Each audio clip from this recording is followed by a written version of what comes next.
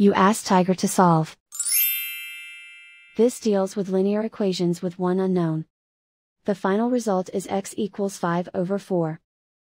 Let's solve it step by step. Isolate the x. Multiply both sides by 4.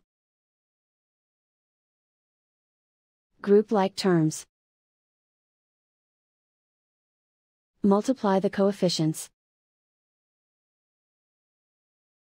Simplify the fraction. Multiply the fractions.